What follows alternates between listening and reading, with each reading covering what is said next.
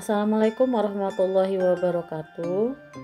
Berjumpa lagi dengan saya Rika Kristianingsi dalam pembelajaran geografi. Oke, anak-anak hebat di seluruh Indonesia, khususnya di Man 1 Cirebon, selamat datang dalam pembelajaran geografi.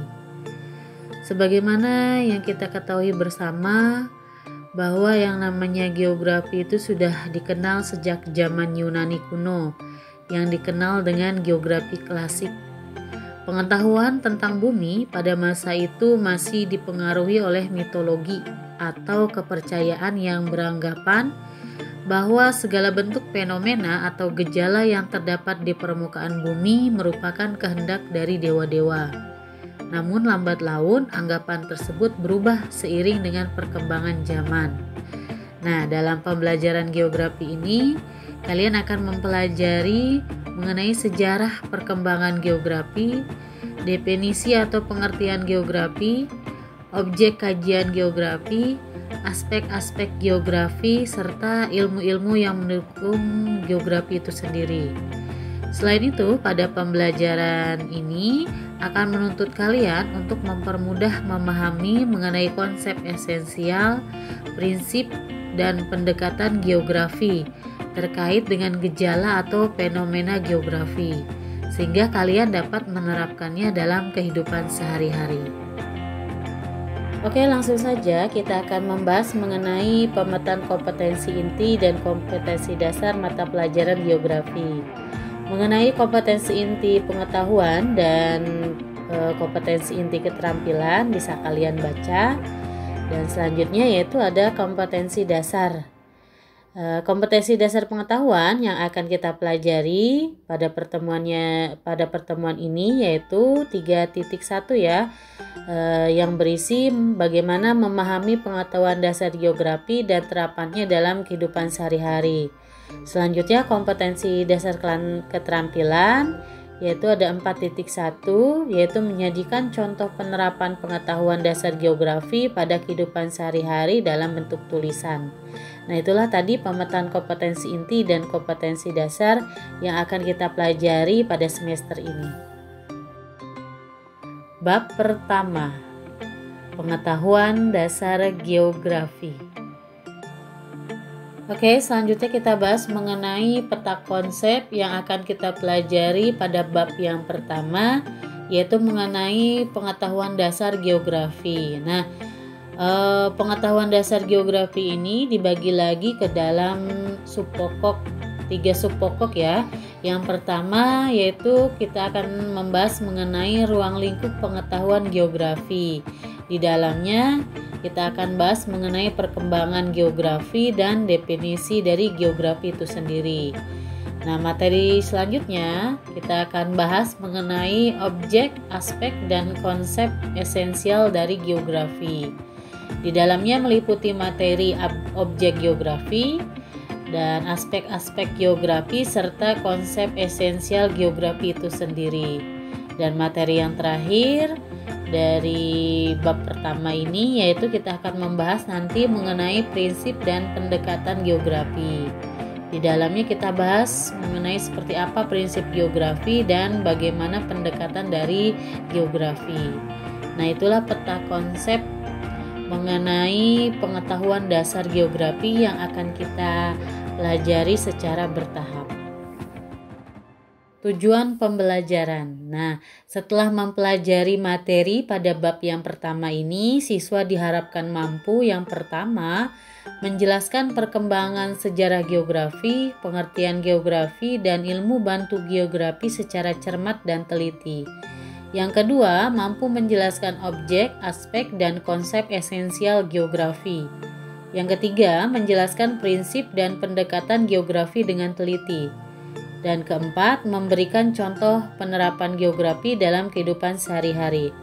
Nah, itulah tujuan pembelajaran yang harus kalian capai pada bab yang pertama mengenai pengetahuan dasar geografi. Materi pembelajaran yang akan kita bahas pada bab yang pertama ini, yang pertama yaitu kita akan membahas mengenai ruang lingkup geografi. Yang kedua, mengenai objek, aspek, dan konsep esensial geografi. Dan yang ketiga, kita akan membahas mengenai prinsip dan pendekatan geografi. Nah, itulah tiga materi pembelajaran yang akan kita bahas dalam bab yang pertama. Pada pertemuan kali ini kita akan membahas mengenai ruang lingkup geografi. Silakan kalian simak dan perhatikan. Selanjutnya kita akan membahas mengenai sejarah perkembangan geografi. Sebagai ilmu pengetahuan, geografi berkembang dari masa ke masa, di mana dalam hal ini dikategorikan ke dalam lima tahap perkembangan. Sejarah geografi itu dimulai dari geografi klasik yang berkembang hingga kemudian terakhir geografi mutakhir yang akan kita bahas secara satu persatu. Yang pertama yaitu geografi klasik. Pada masa ini, pengetahuan tentang bumi masih dipengaruhi oleh mitologi dan cerita rakyat. Dan bangsa Romawi memberi sumbangan pada pemetaan karena mereka banyak menjelajahi negeri dan menambahkan beberapa teknik baru Salah satu tekniknya adalah periplus, deskripsi pada pelabuhan, dan daratan sepanjang garis pantai yang bisa dilihat pelaut dari lepas pantai. Beberapa tokoh geografi klasik ini antara lain Amasimandaros, Thales, Herodotus, Eratosthenes, dan Ptolemaeus. Nah, tokoh-tokoh tersebut memberikan sumbangsi e, berkembangnya geografi klasik. Yang kedua yaitu geografi abad pertengahan dan Renaissance. Pada masa ini, bangsa Arab seperti Al-Idrisi, Ibnu Batutah, dan Ibnu Khaldun memelihara dan terus membangun warisan yang ditinggalkan bangsa Yunani dan Romawi di masa geografi klasik. Lewat perjalanan Marco Polo, geografi menyebar ke seluruh Eropa saat itu, tujuan perjalanan para penjelajah sudah meliputi gol, glory, dan gospel. Pada akhir abad pertengahan, perkembangan geografi banyak dipengaruhi oleh bangsa-bangsa di dunia. Bagian barat, wilayah-wilayah baru juga banyak ditemukan pada masa itu. Adapun beberapa tokoh geografi pada masa ini adalah Marco Polo, Bartolomus Dias, Vasco da Gama, Columbus, Americo Vespucci, dan Kopernikus serta Ibnu Khaldun itu sendiri. Yang ketiga yaitu geografi modern. Pada masa ini, geografi mulai dikenal sebagai disiplin ilmu yang lengkap dan menjadi bagian dari kurikulum di universitas di Eropa, terutama yang ada di Prancis dan Jerman. Adapun beberapa tokoh geografi modern antara lain ada Immanuel Kant, Alexander van Humboldt, Karl Ritter, dan Charles Darwin. Keempat, geografi akhir abad ke-19. Ciri pandangan geografi akhir abad ke-19 ini yaitu mengacu terhadap iklim, tumbuhan, hewan, serta terhadap bentang alam. Di mana kebanyakan ahli geografi pada periode ini memperdalam geologi pada penelitiannya dan kajian geografi manusia semakin berkurang. Beberapa tokoh geografi pada zaman ini adalah Pierre Derick Russell, Preston Izem, dan Frank de Benham. Dan yang kelima yaitu geografi mutakhir.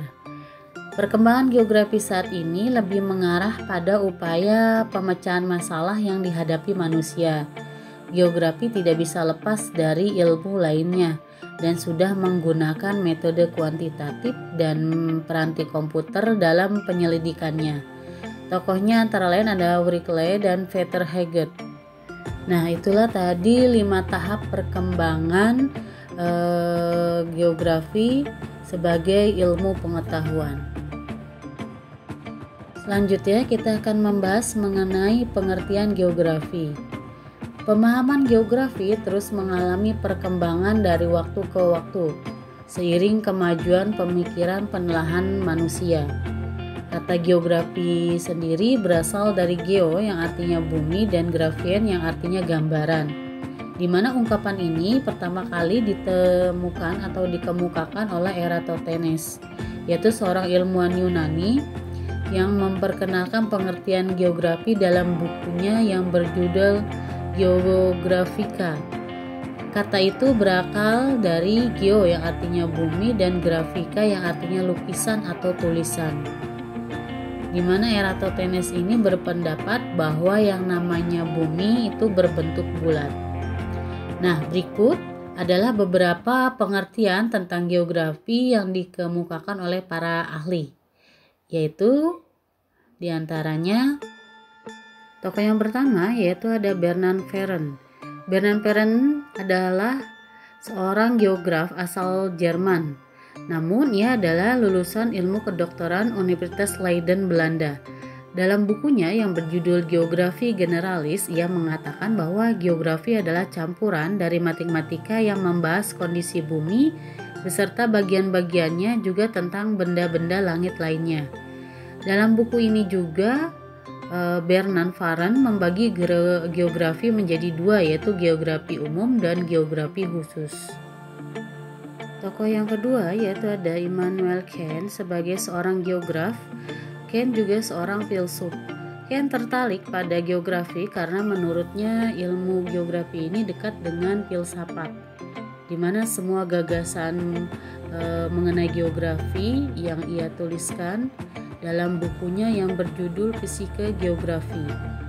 Menurutnya, geografi adalah ilmu yang objek studinya adalah benda-benda, hal-hal atau gejala-gejala yang tersebar dalam wilayah di permukaan bumi. Tokoh yang ketiga yaitu ada Alexander von Humboldt. Pada mulanya, ia adalah seorang ahli botani. Ia tertarik dengan geografi ketika ia mulai mempelajari tentang batuan. Ia diakui sebagai peletak dasar geografi fisik modern. Eh, ia mengatakan bahwa geografi itu identik atau serupa dengan geografi fisik, di mana ia menjelaskan bagaimana kaitan bumi dengan matahari dan perilaku bumi dalam ruang angkasa, gejala cuaca, dan iklim di dunia serta tipe-tipe permukaan bumi dan proses terjadinya, serta hal-hal yang berkaitan dengan hidrosfer dan biosfer. Tokoh yang keempat yaitu ada Karl Ritter, di mana beliau juga dianggap sebagai peletak dasar geografi modern. Profesor Geografi Universitas Berlin ini mengatakan bahwa geografi merupakan suatu telaah tentang bumi sebagai tempat hidup manusia Hal-hal yang menjadi objek studi geografi adalah semua fenomena di permukaan bumi, baik organik maupun anorganik yang berkaitan dengan kehidupan manusia. Yang kelima yaitu ada Friedrich Russell, di mana beliau adalah guru besar geografi di Leipzig. Ia mengemukakan konsep geografi yang berjudul politisi geografi atau geografi politik. Konsep itu diberi nama Lebensraum yang artinya wilayah geografis sebagai sarana bagi organisme untuk berkembang. Tokoh yang keenam yaitu ada Bintarto. Bintarto adalah guru besar geografi di Fakultas Geografi dari Universitas Gajah Mada Yogyakarta. Ia mengatakan bahwa geografi pada dasarnya adalah ilmu pengetahuan yang mencitrakan, menerangkan sifat-sifat bumi, menganalisis gejala-gejala alam dan penduduk, serta mempelajari corak yang khas tentang kehidupan dari unsur-unsur bumi. Tokoh selanjutnya yaitu ada Daljuni yang dikenal karena buku-bukunya yang membahas hal-hal yang berkaitan tentang geografi. Menurutnya, geografi merupakan ilmu pengetahuan yang mengajarkan manusia mencangkup tiga hal pokok yaitu spasial ruang, ekologi, dan region atau wilayah. Dalam hal spasial, geografi mempelajari persebaran gejala baik yang alami maupun manusiawi di muka bumi. Kemudian, dalam hal ekologi, geografi mempelajari bagaimana manusia harus mampu beradaptasi dengan lingkungannya Adapun hal eh, yang berkaitan dengan region, geografi mempelajari wilayah sebagai tempat tinggal manusia berdasarkan kesatuan dari fisiografisnya.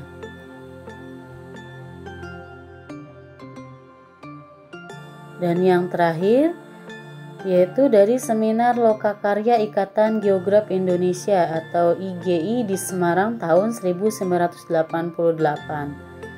Dari seminar peningkatan kualitas pengajaran geografi ini dihasilkan rumusan geografi sebagai ilmu yang mempelajari persamaan dan perbedaan fenomena geosfer dengan sudut pandang kewilayahan ataupun kelingkungan dalam konteks keruangan.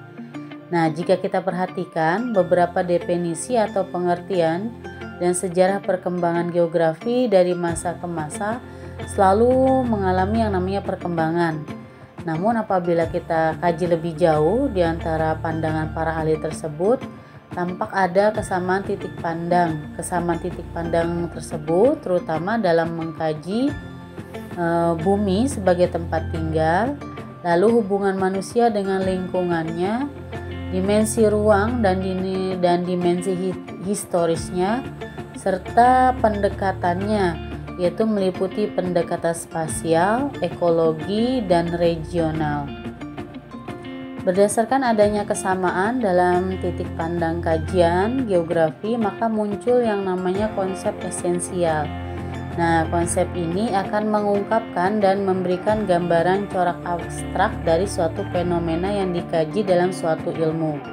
Nah, nah di dalam geografi juga dikenal yang namanya beberapa konsep esensial yang bisa kalian lihat dalam gambar.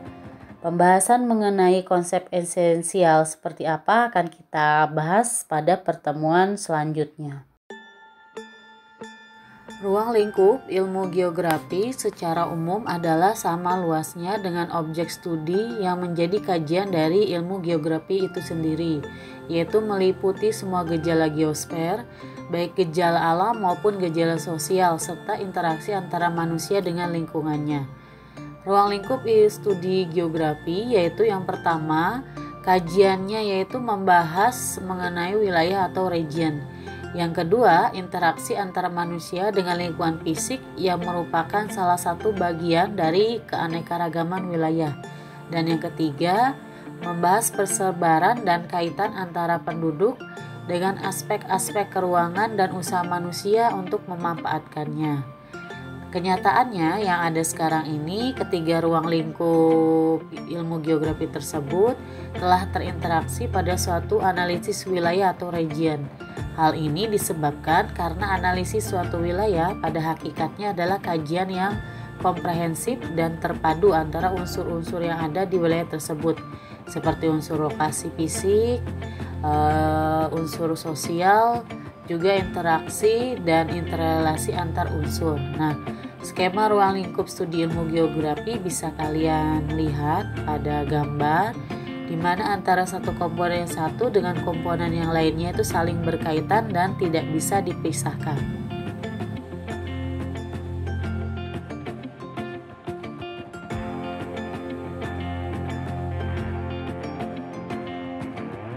Selanjutnya, luasnya ruang lingkup geografi ini menimbulkan yang namanya kebutuhan spesialisasi.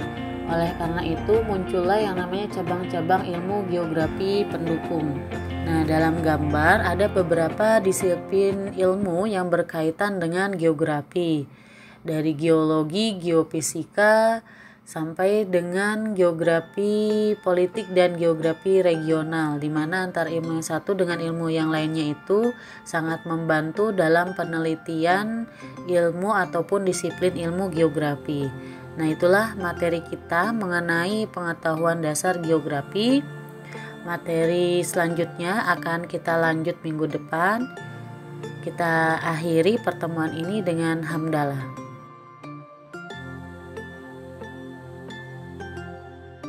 Sekian, saya ucapkan terima kasih. Jumpa lagi di materi selanjutnya. Tetap semangat dan jaga kesehatan. Dan jangan lupa like and subscribe.